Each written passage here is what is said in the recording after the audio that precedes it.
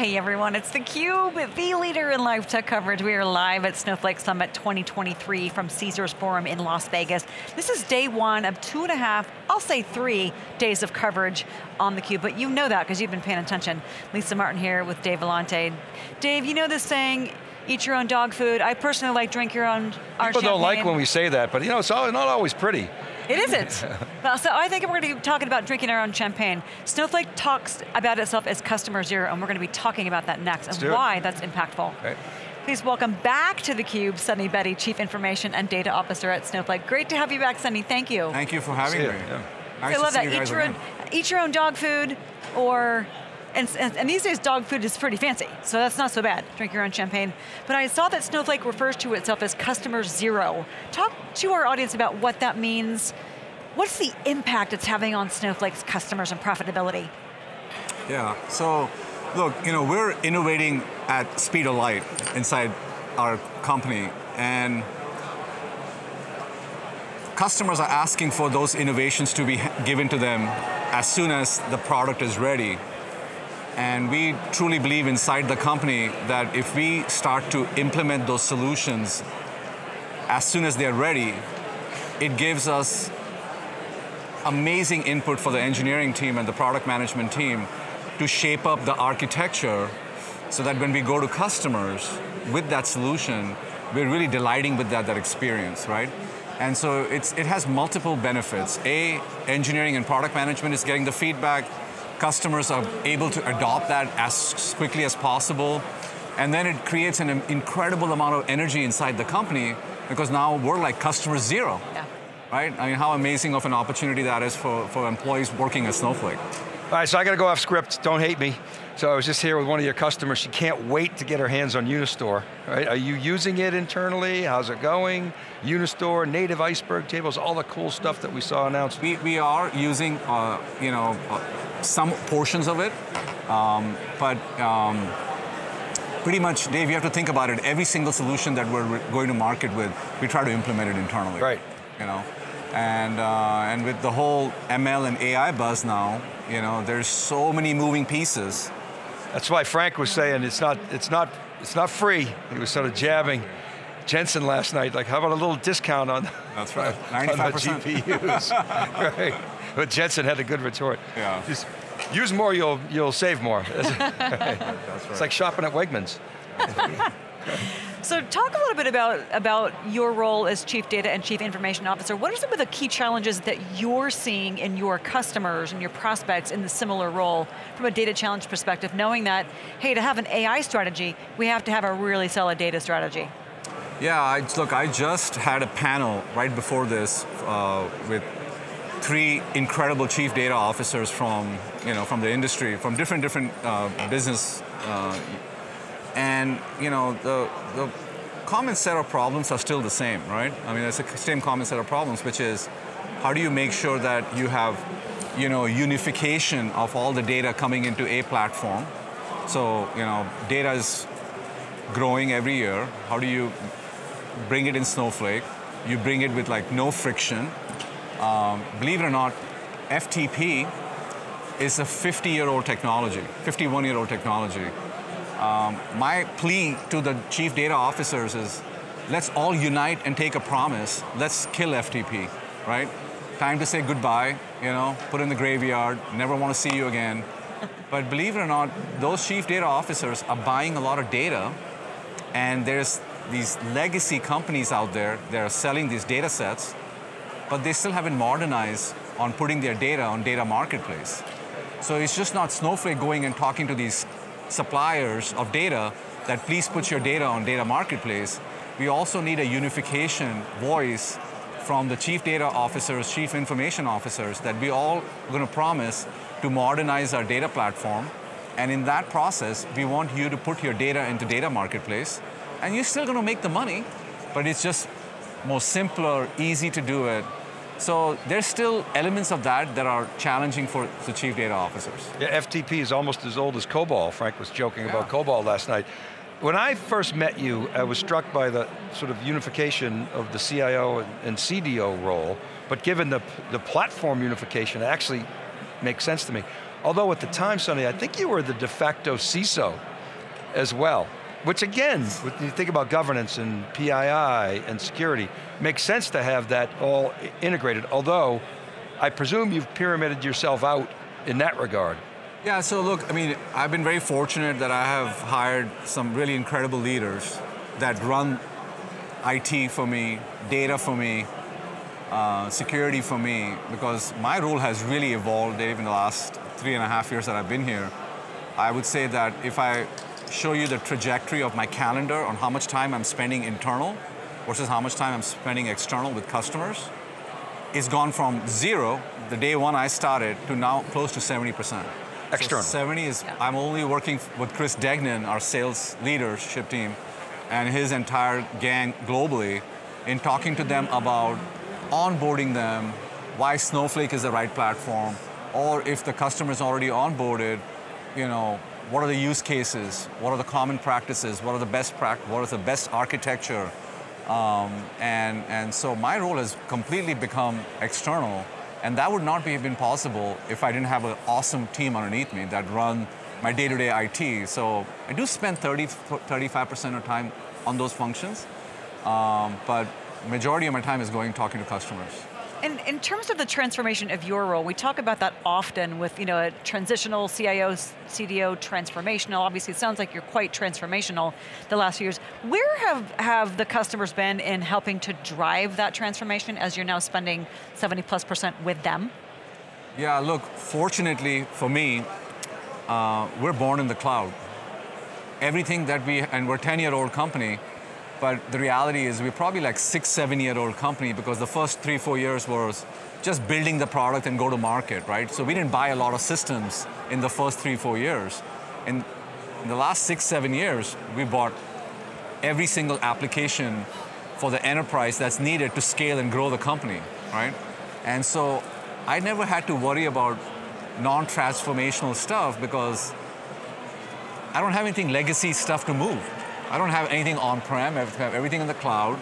So it's all about my team's ability to help give employees a great experience, secure the environment, scale the company, get to new markets, right? These are the only initiatives we have in the company. And so um, I think traditionally other CIOs have a lot of legacy stuff. They have data centers to exit, they have things to migrate to the cloud, we don't have any of that. So all my energy, my time, my bandwidth, and my entire team's bandwidth energy is all going into transformation initiatives. When I, having said that, when I talk to CIOs, I'll ask them about, is everybody SaaSified? And I'll say, okay, but, but the, the data's locked inside the, the SaaS app, yeah. right? Because we've, we've, uh, basically the business process is not embedded in the data, the data is embedded in the business logic. Excellent And point. so how do you deal with that given that you've got all these SaaS applications, but a lot of people do is they suck it in and they stick it in a data warehouse and then it becomes stale. How do you get around that problem? Yeah, so great question. Uh, I'm glad you asked that. So look, we first of all think that every single automation that we are implementing for Snowflake, any system that we're implementing of, at Snowflake, we think about data exactly the way we think about security. You design the data into the implementation of that automation. You don't do that after the fact. It's like imagining you're building a house. You don't do the plumbing after the fact. You do it at the, you know, when your foundation is being built. No insulation. yeah, so, so that's, that's first principles. Yeah. Then, then what we really believe is that the enterprise SaaS applications are fantastic. Companies like ServiceNow, Workday, Salesforce, they're amazing companies, amazing applications that they have built they solve the business process end to end. It's a workflow automation that they solve. They drive productivity. But we truly believe that that application has a lot of incredible insights and data. It needs to come into a meaningful location like Snowflake. That integration of how that data comes into Snowflake has to be very, very seamless, has to have no friction. So we are investing in a lot of partnerships with these SaaS providers, either through a connector or through data sharing. So that if I'm a data engineer, I don't want to be dealing with data ingestion all day long. The connector and or data sharing takes all that work away from you, and it actually also secures it. So you don't have to stitch security around it. Third point on that is, once that data comes into Snowflake, it needs to be correlated with other sources. Like we're Workday ERP system, and we also use Salesforce, but our metering and billing system is inside Snowflake, because it calculates how much usage you're doing. Now, my revenue team needs to pull all these things together. Now imagine if they were doing all of this stuff into in Workday. There's no way for them to do that. So back to your SaaS questions, Yeah. I think is incredible amount of wealth of information sitting in that applications, but it's incomplete unless you bring it together, correlate it, ask the right questions, and then drive the right outcomes. So, so the answer in part is use, use Snowflake, okay, but that's the obvious part, but, but also you had to architect a data strategy and a business process strategy around that. Right. So when you, you're now 70% of your time external, I presume this is, you spend a lot of time talking to customers This is the only to discussion the this. CIOs, because they either have these type of data sitting in legacy systems, or they haven't made the migration of moving some of the SaaS data into the Snowflake. So we truly believe that Snowflake for the IT organization is the de facto enterprise data platform. And, and you can only take advantage of it if you correlate it, and you can only take advantage of it if you enrich it, model it, and, and then really drive the right outcomes based on the, uh, you know, your company's strategies are. What's the journey for customers that have disparate systems that don't have this integration, this unification? How do they partner with Snowflake to really start abstracting that, those silos so that they can really pull data sources together to make the right decisions that are going to generate revenue? Well, I think, look, you know, just the, the whole buzz around AI and ML, and um, I think also I feel is going to be a forcing function to drive that consolidation. It's the catalyst. You know, Jensen said it yesterday best, right? He's like, you know, what's your favorite database, right? And then we're going to put AI to it. Well, if you don't have that data in a consolidated place, and it's not protected and secure and governed, how, how, can it, how can it do these amazing things that every company is trying to do right now? Uh, so I, I truly believe that uh, the consolidation question that you have, uh, if is being pushed right now through this whole AI buzz that we're seeing in the marketplace. Yeah, he, had a very powerful statement. He said, two questions you should ask, what is your favorite database and most important database? And then if you had a really smart person, AKA the AI, what would you have that person ask the Yeah. data? And I think back to the big data days, Sunny, that was always the hard part, was actually which questions to ask. Right. So how have we evolved in that regard? Do you know what questions to ask? Well, I think we are, you know, the most amazing thing that I see the transformation happening is you would have these like amazing people in the line of business who would ask IT organizations, hey, I'm trying to find this trend and I'm trying to find that trend. Can you help me with this? Or I'm trying to find an answer to this question. Can you help me with this? Unfortunately, they were looking at all these dashboards, right? They were just looking at these dashboards and trying to ask the, why did this happen? When did that happen? How did that happen? Where did that happen? Why did not? It? So it was really iterative and very hard to do it. But with the simplification of how data comes into a platform now, you don't have, it just works. So you've taken all that operational work away from the day-to-day grind that used to happen in a, you know, in, in an on-prem or non-cloud environments. Now, the line of business have also become smarter. I mean, it's amazing to, for me to see how many people at Snowflake actually know Python in the business. And so my job as a CIO is to make sure that data gets in right from the beginning of the automation. The infrastructure is available and highly, highly reliable. Um, and then, you know, really giving them the tools to actually innovate and ask the right type of questions. No more dashboards. Let's ask, why did this happen? And they should have, ans- if they have questions for the next four whys, infrastructure is not going to come in the way. It's their innovative ability and imagination that will come in the way. So you're saying it's not about the viz, it's about the answer. Exactly. Exactly. Interesting. Yeah. How do you how do you lead, given that you're so externally focused now? How do you lead your team? So look, I mean, we have um, you know some incredible leaders that we have hired, so that helps. Yeah. But then we've also you know come up with incredible you know metrics and KPIs that um, are universally adopted globally for our company. And I attend a lot of those meetings on a regular basis every week. Actually, my first meeting on Monday is called Operations Metrics Review Meeting. And it's a rotating topic. One day, we, one Monday we'll do security, one day we'll do employee experience, one day we'll do cost, and, and so on. All the things that IT is responsible, data is responsible for. And we have systemized it in a manner that we measure the right stuff, and we have developed enough automation that if there is any variation to it, it triggers the right set of actions that are needed.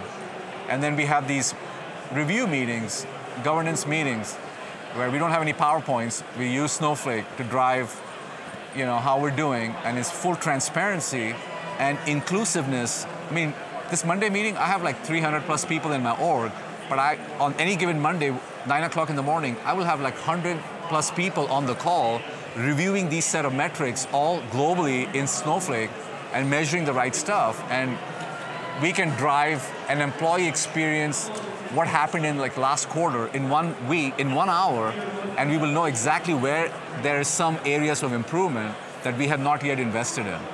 I mean, this is again, you know, data, right? It's data, data exactly, yeah. That's how you lead. Yeah. Lead by data. It's a crystal ball. Last question for you, Sunny. Yeah. What's your favorite Snowflake customer story? Maybe it's Snowflake as customer zero that really shines a light on the value that this company is delivering continuously to its customer base.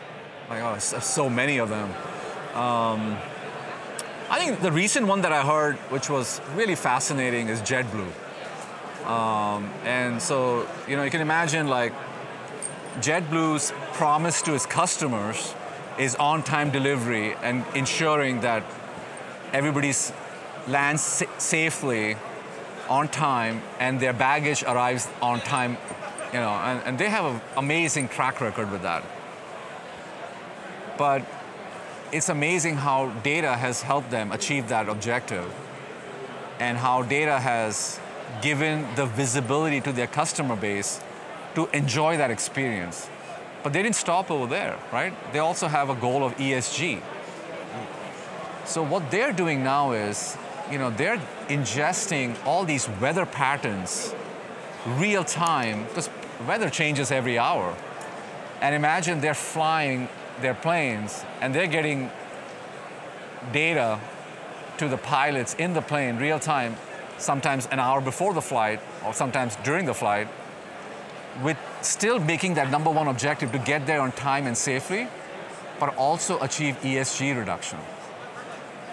And they, I don't know the exact number, I think it's 20% or something, where how they have reduced their ESG carbon footprint by using data and all this you know, correlation that's needed real time to reroute flights and get there on time and meet that goal.